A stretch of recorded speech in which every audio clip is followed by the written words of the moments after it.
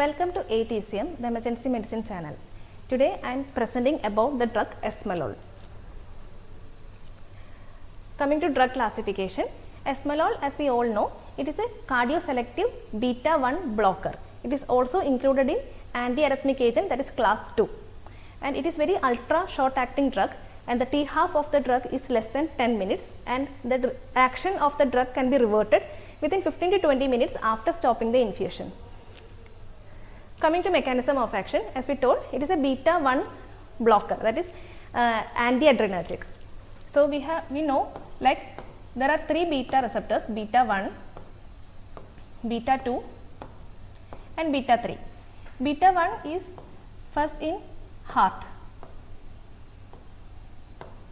Heart it may act in sinus node and it may cause increase in heart rate and it may it is in AV node it increases the conduction velocity and in ventricles it may increase the contractility.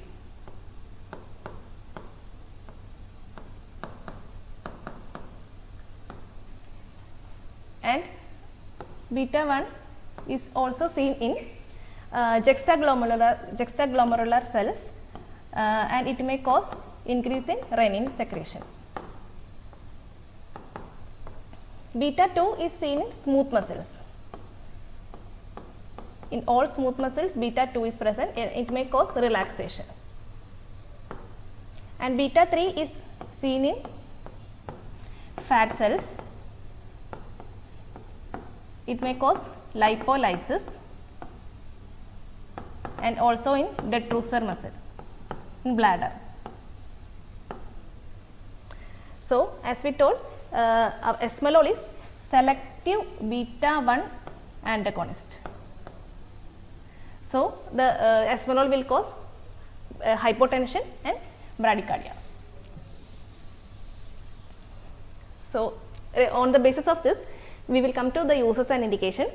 It is mainly used in hypertensive emergencies, acute aortic syndromes to reduce the BP and heart rate and to reduce the heart rate like in atrial flutter, atrial fibrillation, SVT, ventricular tachycardia, thyroid storm, etc. It is an IV preparation that is the route is by IV. And uh, the dosing, coming to dosing, it is initially given as a bolus dose and then followed by an infusion.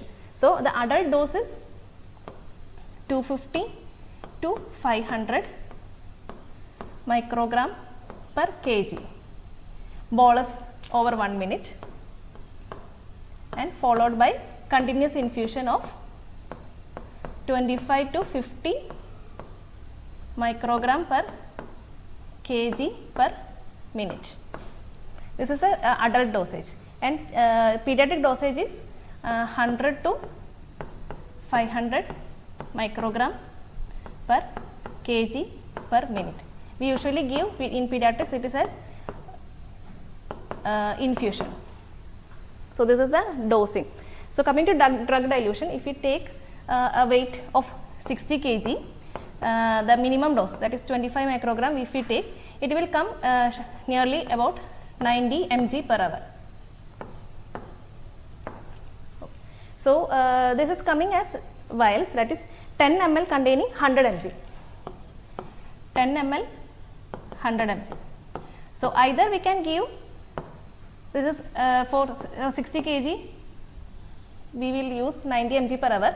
So, either we can use 10 ml per hour. 10 ml per hour. Or we can in, uh, use that uh, 5 vials can be included. That is it will be 50 ml and then it will become 500 mg.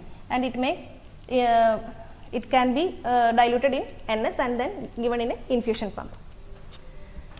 So, this is regarding the uh, dosing and setting up an infusion. Now, coming to precautions, precautions anaphylactic reactions are there and local reactions that is uh, it may extravasate. So, it, uh, the drug should be used uh, infused through large veins and it should be not used through butterfly cannulas and then hyperkalemia, hypotension, conduction abnormalities and in diabetes mellitus that is all beta blockers uh, should be used with caution in diabetes mellitus because uh, in if there is hypoglycemia the signs and symptoms may be masked. So, uh, esmolol also should be used in precaution and then uh, it is um, in, with caution in pheochromocytoma that is all beta blockers that is uh, it should be using and we initially should use an alpha blocker initially then only we should use a beta blocker. Then coming to contraindications. Contraindications are uh, like hypersensitivity and uh, uh, severe sinus bradycardia and there, if there is any underlying conduction blocks are there uh, and decompensated cardiac failure esmolol is contraindicated. Coming to complications, complications are like we can uh, divide into system wise.